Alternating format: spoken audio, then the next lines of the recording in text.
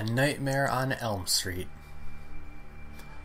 Freddy is a fucking awesome horror movie villain. Oh my god. He's funny and terrifying at the same time. He goes through your dreams and kills you there. Holy fuck. Like, that's terrifying.